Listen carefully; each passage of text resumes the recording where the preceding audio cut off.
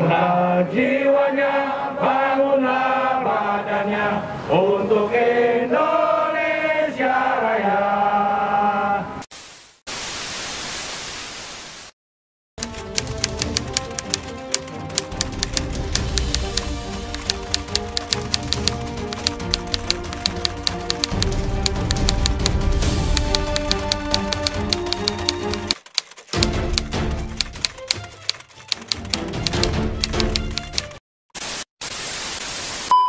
Kalau kita lawan kawan-kawan, betul.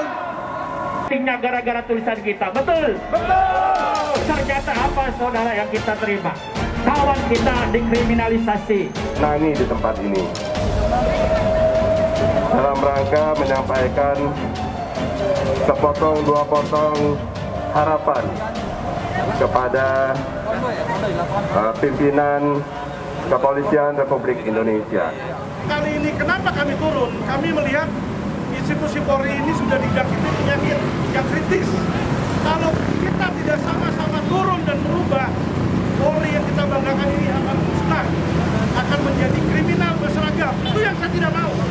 Saya mau institusi Polri ini bersih, institusi Polri ini bisa dihormati oleh masyarakat, dicintai oleh masyarakat, dan menjadi panutan dan contoh bagi kita para masyarakat. Ini yang kita mau. Oleh karena itulah maka kami dari Indonesia Lobang bersama dengan PPWI dan para wartawan kita mau cegah ini kriminalisasi. Kalau saat ini wartawan bisa dikriminalisasi, besok pengacara pun bisa dikriminalisasi. Itu yang kita tidak inginkan. Kita mau Polri itu bisa seperti yang kata Bapak Kapolri, yaitu presisi berkeadilan. Adil untuk masyarakat, bukan adil untuk pengusaha atau yang punya duit. Demikian.